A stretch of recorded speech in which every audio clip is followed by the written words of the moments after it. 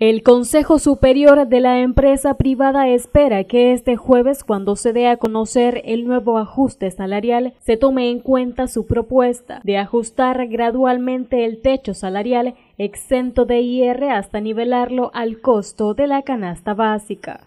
Es una responsabilidad que van a tener mañana los que tomen la decisión de cuál va a ser ese aumento.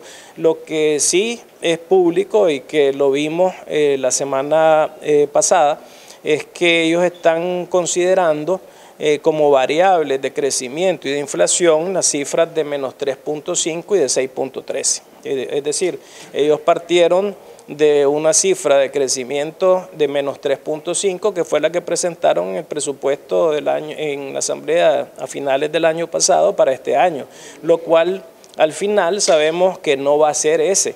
El líder de la cúpula empresarial estima que el aumento podría ser menor al 3%.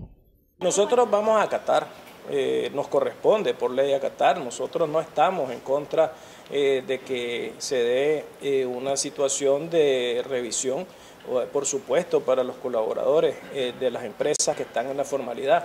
Eh, así es que desde ese punto de vista lo que estamos diciendo, sin embargo, es que recordemos que esto eh, no es el único incremento que las empresas formales están teniendo. Es más un tema de que hemos dicho, no nos hemos cansado de decirlo, de raíz política y mientras no se resuelva vamos a seguir en esto. Simplemente es la suma de, eh, de 6.13 menos 3.5.